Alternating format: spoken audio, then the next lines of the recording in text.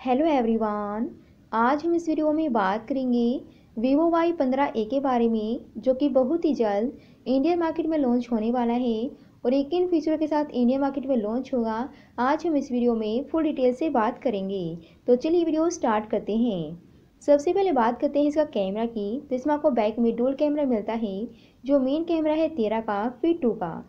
और इसमें आपको एट मिसल की सेल्फी मिल जाती है। अब बात करते हैं इसका प्रोसेसर की तो इसमें आपको MediaTek P thirty five का प्रोसेसर मिलता है, जो आपको ट्वेल्व नैनोमीटर पर बेस मिलेगा।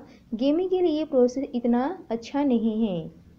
और अब बात करते हैं इसकी बैटरी लाइफ की तो इसमें आपको पाँच एम की बड़ी सी बैटरी टेन वाट का चार्जर माइक्रोसिप का स्पोर्ट देखने को मिलेगा। और इसमें आपको तीन पॉइंट पाँच एम जैक भी आपको देखने को मिल जाएगा। बात की जाए डिस्प्ले क्वालिटी की तो इसमें आपको सिक्स पॉइंट फाइव इंच की एक H D plus I P S L C display मिलती है, जिसमें आपको वाटरड्रॉप नोच मिलती है और सिक्सटी हर्स का रिफ्रेश भी देखने को मिल जाता है। और इसमें आपको ट्रिपल सी मिलती है, दो सिम और सतमेस्टिक का डाल सकते हो।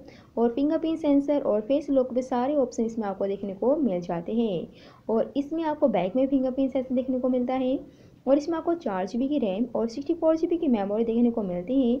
और इस स्मार्टफ़ोन का जो प्राइस है, वो होगा ग्यारह हज़ार नौ सौ निन्यानवे रुपये और ये इस प्राइस में इंडियन मार्केट में लॉन्च हो जाएगा। तो आपको स्मार्टफ़ोन कैसा लगा कमेंट बॉक्स में ज़रूर बताएँ।